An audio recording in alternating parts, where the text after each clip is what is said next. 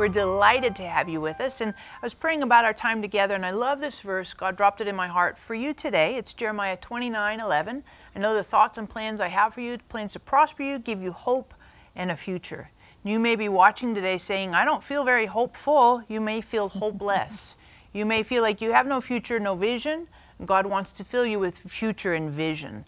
Hop on the phone, get on the website. We would love to pray for you and see God do absolutely amazing things in your life for hope and a future because He's got great plans for you. And Mom, I'm so excited. We have an awesome day in front of us today. Yes, we do. And I have a word that Yep. I want to share before I introduce one of the best guests we've ever had. So, the word I have is I want to thank all of you wonderful partners. Sarah and I could not affect the whole world without you. And so the blessings of seeing people saved and healed and spirit filled and delivered, that's a part of your blessing. But today, God just dropped it in my heart that there are 30 people in Atlanta that God is calling to be partners to MHM, to Marilyn Hickey Ministries. So I want you to call in. You say, hmm, that's me. So call in, don't put it off. And this guest, oh, Laura Harris Smith, I love your book. I'm so glad. Thank the voice of a lot to God. When I started this, I couldn't put it down. Good. And I kind of pushed aside some other things I needed to do. And I especially love chapter four because I think I've ignored my dreams. Mm-hmm. You know, Many people do. and God was trying to talk Mm-hmm. to me and maybe emphasize special things. So share with us how God gave you this book and how everyone needs this book. Don't waste your dreams. Well, it is true. Um, we all dream. I have many people who say to me, I don't dream. Um, many people believe that. But as I began to write this book, I thought I have got to bring some sleep study doctors into this and get some information. Scientists don't really understand why we sleep, much less why we dream, you know. So I knew I needed to pick their brains as well as bring a biblical perspective. And I tell you what, when I realized that nighttime is a sacred time and that it wasn't some afterthought, God didn't create the moon and stars as some, oh yeah, you know, it was a, an ordained time so that man could be still and God could have his ear.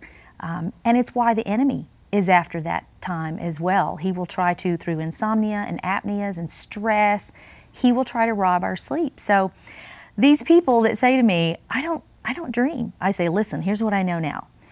We dream each night between four and six dream REM cycles, rapid eye movement cycles.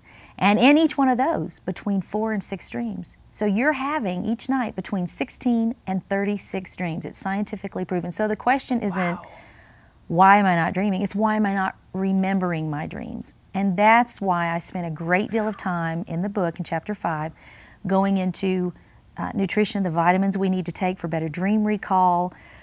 God gave it all to us on the third day of creation, you know, the things that we can take to make our bodies more healthy and remember our dreams. Take back our dreams, really, is what it is. You know, Mom, we have people watching today Yeah. that struggle with sleep. Mm-hmm. I know that beyond the shadow of a doubt. I want to encourage you to hop on the phone, get on the website, grab your copy of this because you're listening, and I know many of you, you have sleep apnea, or you have a friend, or your husband, your wife has sleep apnea. Oh my goodness, hop on the phone, grab this book. It'll be a huge, huge resource to you just for that one component on it. But the other part of it too is that whole dream thing, right? Because the dream deal some people, you know, that's a tricky part.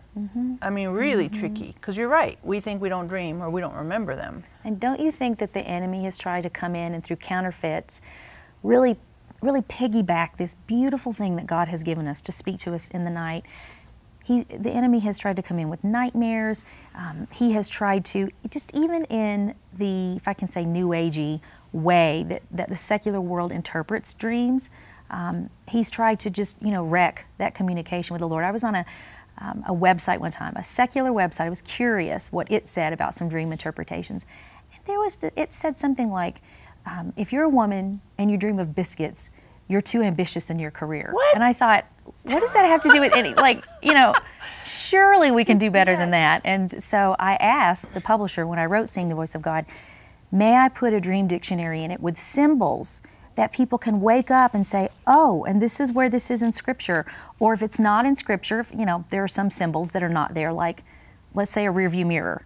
Um, it's not in Scripture, but I have, you know, the verse from Philippians in here next to that symbol, forgetting that which lies behind and reaching forward for that which is ahead, because that's what a, a rearview mirror, you know, would represent in, in uh, a dream. And so I just got excited about the Dream Dictionary. The publisher said yes, and I was telling you earlier uh, before the show that I asked them if I could do a thousand symbols, and they said, "Are you sure you want to bite that off?" And I was like, "Yeah, it'll be awesome." And about 500 symbols into it, I, I literally, I, it's hard writing a dictionary. I sure. thought I'm going to lose my mind. But I tell you what, it has proven to be the thing that has borne the most lasting fruit um, from the book. And I have people all the time tell me, I keep it right there on my bedstand, by my bedside, between my Bible and my journal. I mean, that's that's, that's weighty. That that really blesses me. And are so. you missing the voice of God? because you're not seeing the dream on how spiritually God wants to talk to us. Yeah. You must get the book. Mm-hmm. I mean, don't put it off. And what I did is I underlined certain parts because I thought I need to remember this, I need to go over it, because I've kind of just ignored my dreams. You know, and some of them I can see now there's a sequence of mm-hmm. God trying to talk to mm-hmm. me. And I would say to you, I wouldn't get one book, I'd get two. you know, we like to give gifts, you like to give gifts. And when you can give someone this, even an unsaved person yeah. would enjoy mm-hmm. this. So it's a good way that you can pass something on that's a missionary and it'll work while you sleep. Call now. And you know, I like, I mean, chapter seven is your dream dictionary mm-hmm. and the symbols. Because mm-hmm. here's the thing so many times, and you've referred to this, you, we dismiss them because of pizza yeah. dreams. Yeah. That's what we call them, pizza dreams. but in here, I mean, those the, that yeah. whole deal of symbols is a big deal. Well, what if Ezekiel had dismissed everything right. as a pizza. I don't think there was pizza at the time, but you know, there hummus. You look at right, right. What if it was a hummus dream? You look at how the enemy has come against this subject, and it's because it frightens him. So dreams are not a trendy topic. We all are going to sleep. You know, we should be. Uh, we are always going to dream. And so, yes, it has awakened something in people, even in the lost. I wrote it with a voice uh, that was really non religious. It's full of Jesus, make no mistake.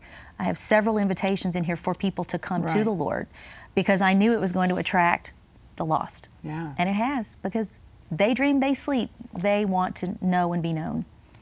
And I like this too. She tells you how to get sleep. Mm-hmm. Because, you yes. know, as you said, people are suffering from not sleeping. Mm-hmm. And sleep is so yes. very important. Yes. And this will help you. Mm-hmm. It'll even help you to know what to eat, yeah. to help your dreams be real to you. Mm-hmm. I think that is awesome. and you say, well, are dreams in the Bible? What about Nebuchadnezzar? Oh, yeah. dreams God often gives to unsaved people mm-hmm. to get them to know Him. They won't listen in the daytime, so mm-hmm. He gets them at night. Mm-hmm. Sometimes we won't listen in the daytime, so He yeah. gets us at night. So you say, wow, is all this biblical? Not crazy? Not crazy, but mm-hmm. very necessary mm-hmm. for you. Mm-hmm. Very necessary. So don't put it off. Get the book. So when you write in here, another thing you do in the first couple chapters is you talk about different kinds of yes. dreams. I was hoping we could go there. Yeah, yeah. Uh, I discuss the 10 types of dreams that I see in the Bible, and I break them down to uh, the five dreams that are for now and five type of dreams that are for later that you have to sit on and stew about, you know, and pray about. Um, and so I discussed, just for example, I discussed waking dreams. Have you ever had that dream that, I mean, literally, it, you, it wakes you up in the morning and it nags you all day long? It's the one that you just feel like you're supposed to do something with it. Um, and you should. It's a prayer assignment. And a lot of times with me, the Lord will, He'll just save my neck. You know, He'll just say, I've had dreams, anything from, there's danger coming for this person or this child. You know, I have six children, so that's a lot of dreams, a lot of interventions. The Lord will give me, um, you know, insight on how I should handle this or that. But also, just I remember one time the Lord just gave me a dream that someone was going to be unkind to me that day, and uh, and He knows I need a running start. You know, I, I He does, and so just little, little and big things. The Lord wants to live life with us. And another type of those dreams would be your uh, warning dreams. And so I've had, I tell you, those in, in combination, a warning waking dream is definitely an assignment. Uh, and it usually means you have a small window of time to partner with God and change uh, whatever the enemy's schemes are. And a lot of people mistake warning dreams for nightmares. Hmm. Uh, but it's just information that the Lord has given you. It's not something set in stone, bad that's going to happen to somebody. It's the Lord saying, pray, partner with me, and change history. And Laura, I've had an experience with that a long time ago when we started our church. My mother had a dream. We were having an evangelist come, and in wow. the dream there was a lot of confusion. So we met at the church, and of mm-hmm. course we just had a small church, but we met ahead of time and prayed that wow. the enemy could not do that. Well, that wow. night, some crazy people came in to absolutely upset the service. Well, we had already mm -hmm. dealt with it. Mm. We mm-hmm. already knew. But mm -hmm. I just wish I had listened more. I'd, I wish I'd read that book way back then. That's why oh. I want you to get the book mm.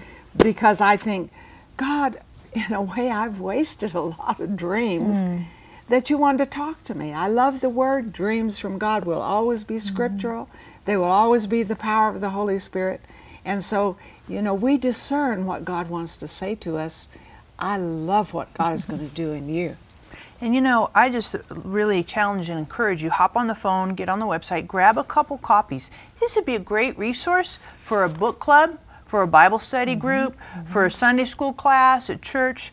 Huge, huge. And here's the thing sleep, we oftentimes we dismiss it. We ignore it, no big deal, you know, everybody sleeps or they don't or whatever. But this is a really big topic. And if we think about it, a third of our life is spent sleeping. What a great opportunity for God to speak to us when we're quiet and still. We rely on communication through images on our phones, internet, and television, but our Creator wants to communicate with us visually as well. Did you know that by age 75 you will have slept for 25 years and had almost 1 million dreams? It's scientifically proven that everybody dreams, and biblically proven that God speaks through dreams. For your gift of $25 or more, we will send you Seeing the Voice of God by dream expert Laura Harris Smith. This informative book will help you study and interpret dreams as well as guide you with nutritional advice that will help you take back your dreams for better dream recall. We will send you this book along with Marilyn's two CD teaching set, Dreams and Visions. Through Marilyn's anointed teaching, discover scriptural ways to check the validity of dreams and visions and learn what the Bible says about them. We will also include our Spiritual Life Confessions card for easy reference to the promises God has for you. See what you might be missing while you sleep and see the voice of God. Call or click today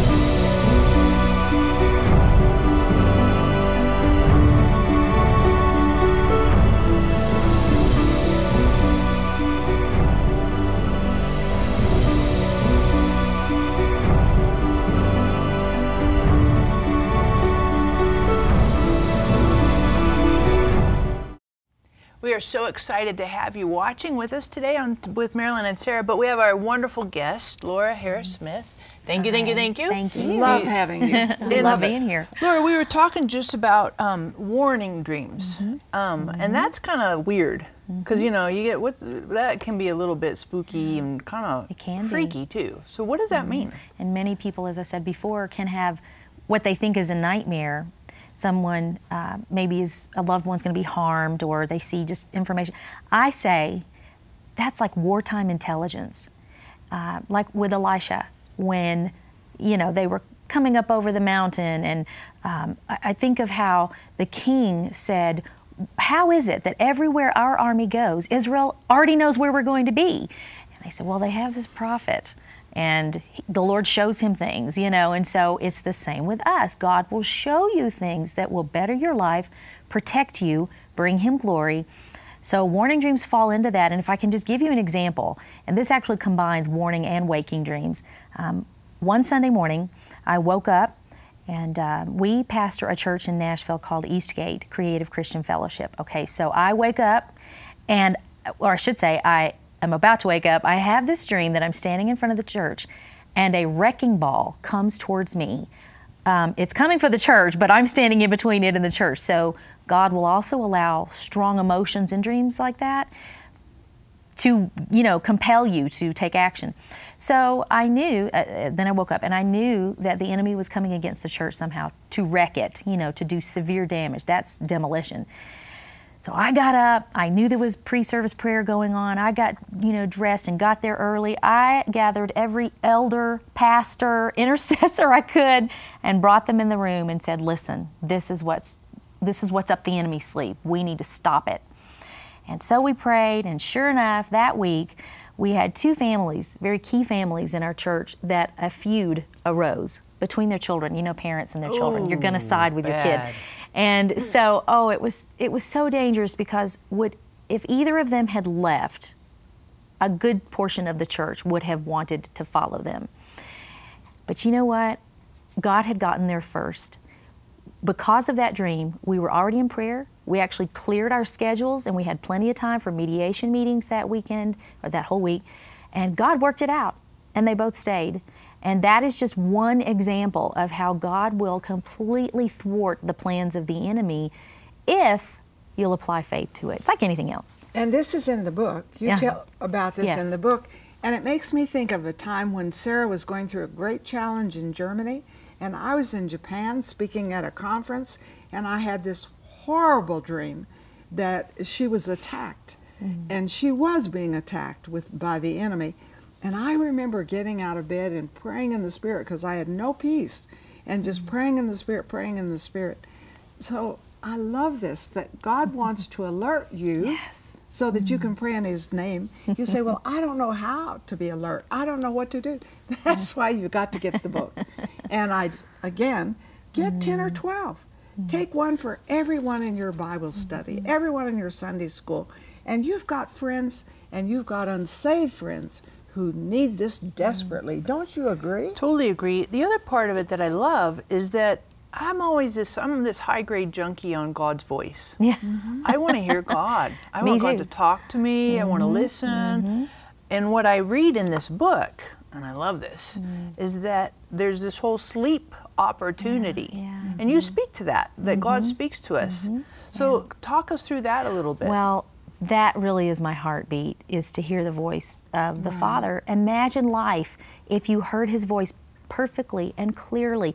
You would never make a bad decision. You would never choose a bad relationship. You would probably be wealthy because you'd make all the right financial decisions and choices. Um, and so that is really my heart is to teach people intimate communication with the Lord. That's why I say that this book is not really a book on prophecy. Obviously, it is, and I discuss that in length. Um, but it's just a book about communication with God. Either we're in relationship with Him or we're not. And when He gives me those warning dreams and He Yeah. requires me to get up in the night, Yeah. I'm not afraid anymore. It makes me weak in the knees how much He loves me and wants to protect me and better my life. Right. It doesn't. So- It doesn't make you afraid. Because here's the thing: there are people in our audience. They're afraid, Yeah, yeah they and are. those dreams. I mean, they quiver their liver. Yes, What do you say to that? I'd like to speak directly to them.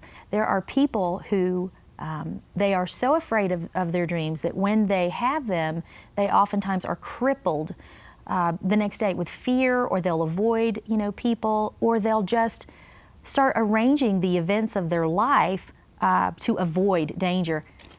When that is such a time waster, if you would just apply faith to it and say, God, you have shown me, you have shown me this thing, and I am going to with you ordering my steps, uh, pray about this, pray for this person, and there is not going to be any danger. I w- if I had a dollar for every warning dream I had that I applied faith to, and I saw the situation change entirely, I would be a wealthy woman. And you know what? I am a wealthy woman in the spirit because uh, the Lord, He just loves us. This is all about relationship with the Lord. And you tell people how to take authority Mm-hmm. Yes. over the enemy. Yes. Not just, oh my goodness, I had this dream, this is going to Mm-hmm, happen. But how do you take authority as a believer? There's a way to take authority.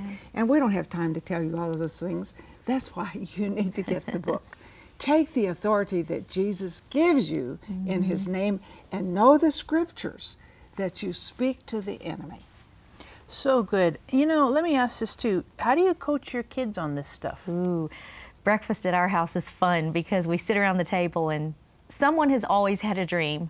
Uh, and I love, and I even love that my adult children who are married, them contacting me and saying, Mom, what does my dream mean? I love interpreting dreams because I feel like I'm just bridging, you know, a gap, helping someone understand what God is saying. So they love it. I have a house full of dreamers. I really do. And, um, and not all of them would say that they have the gift of prophecy but they just love the Lord. And, and, can I please just add that it's not just the 10 types of dreams in, uh, include more than just crisis intervention. There's encouraging dreams. Yes. You know, I remember one time I was really, really sick and I had a dream that David uh, visited me in the in the hospital, and I knew it was him because it was exactly as the Bible described him, with his red, you know, his ruddy skin and hair, and he just leaned down over me and he said, "I am so proud of you."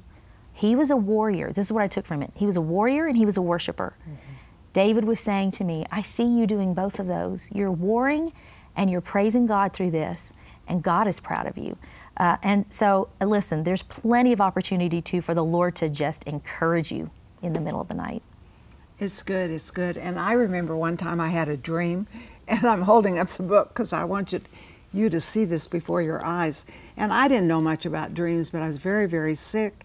And, you know, it looked like I could never travel again. Mm-hmm. They were saying that to me. And in this dream, I'm in, I knew I was in Europe and I'm walking up a hill and the light is coming up.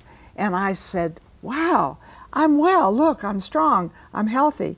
And so the next morning I woke up and thought that was only a dream, but it sustained me. Mm-hmm. And then later, Sarah and I had a meeting in Naples, and one of the streets we were driving up was the street in my dream. Oh, I love See, it when that's that why. I'm saying to and that's you. so faith building. Yeah, you mm-hmm. got to get the book mm. because I look back and think, oh my goodness, I could have been mm-hmm. interpreting a lot more dreams by listening to the Holy Spirit and knowing the Word. So, have you called yet? Don't put it off. Some of you, you put off things, and later you think, oh, I wish I had this book. I was given this book maybe two years ago to read. Mm-hmm. And I didn't read it because I have stacks of books given to me. And then now you're mm. coming to us and mm. I'm reading the book. I think, wake up, Marilyn, get it. You should have been reading that book two years ago. You know, and I love that um, God speaks in so many different ways. Mm-hmm. Um, just us making the connection that God is speaking, and God is mm-hmm. speaking in dreams, mm. and that we don't just ignore and mm-hmm. dismiss that. We don't just kind of blow that off. And this book puts an exclamation point on that. But not only exclamation point to get our attention, but I love the mechanics. Mm. Because if you don't tell me how to do it I'm a practical gal. Ugh. Thank you, Jesus, right? Because otherwise we're lost. Yeah. I mean, Right. don't just get me all fired up, give me some mechanics. So thank you mm-hmm. so much for writing this book. Also, I want to encourage you to get the book. You need to hop on the website, call now, grab at least three copies. Five copies would be fantastic for all of your friends. This is a great birthday present, Christmas presents, super awesome for your kids and very, very helpful for all of us to know how to hear God's voice, not only in the daytime when there's lots of distractions, but at nighttime when we sleep.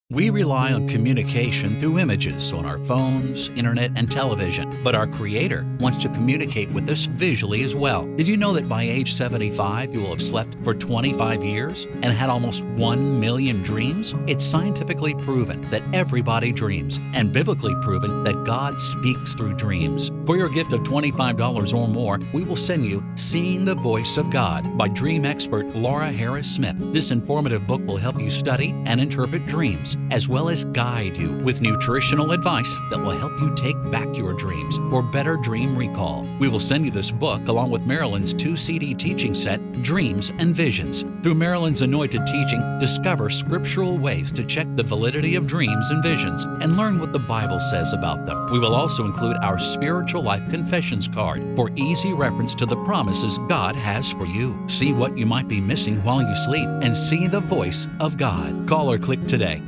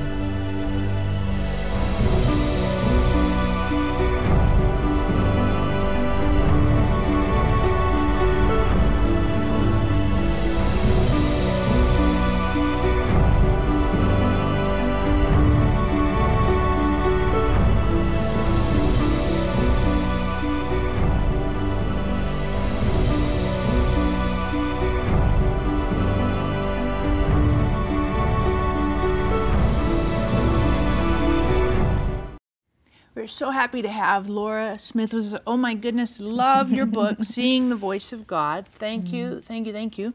And Laura, you. we'd like to ask you to pray for our audience. Um, I would love um, to. I know there's some people too that have questions about dreams and stuff. So mm-hmm. can you mm-hmm. just talk to us um, a little bit and talk to the audience? I would love to. I want to pray first for your sweet sleep because sleep is a sacred time. And I felt like the Lord said there were some of you out there who the enemy has really tried to invade your sleep. So let's pray about that first. I just declare over you, my friend, that the Lord is positioning angels around your bed, that He is going to see to it that you have a good night's rest. And I, I challenge you to pray before you go to bed and to say, Devil, this is God's time. This is a sacred time. And just commit your, your heart to the Lord. As it says in the Song of Solomon, um, I am asleep, but my heart is awake, listening for the voice of my beloved. So I release just dreams over you. Um, and I, I pray that you would recall your dreams and that you would get healthy so that you could recall your dreams. And I want to urge you, I like it when my readers stay in touch with me. And so I invite you to do that. You can go to my website at www.lauraharrissmith.com, lauraharrissmith.com. And I'd love to hear from you. Thank you. It's so awesome and love the mm-hmm. book. Love how God is talking to people and connecting mm-hmm. people to Himself through the mm-hmm. book. So thanks for being willing, because not everybody wants to write, you know, a book about mm. dreams and sleep. So thank you for being willing, for being obedient, and letting God speak through you to mm-hmm. connect people to God's heart out of mm. love, genuine, mm. flat out love. So thank you. We Thank appreciate you. You two ladies Appreciate are you awesome. being It's with been a pleasure. Make sure you hop on the phone. If you need prayer for anything, we obviously want to pray for you. Of course, grab your book. It'll be a huge, huge resource and benefit, blessing in your life. Thank you for watching our YouTube channel. We are so thrilled that we get to minister to you on YouTube. So, of course, you got to hit the subscribe button because we want to continue to get to connect and at your convenience. That's one of the things I love about YouTube is you can watch at your own convenience and when you subscribe, then you get all the latest and the greatest.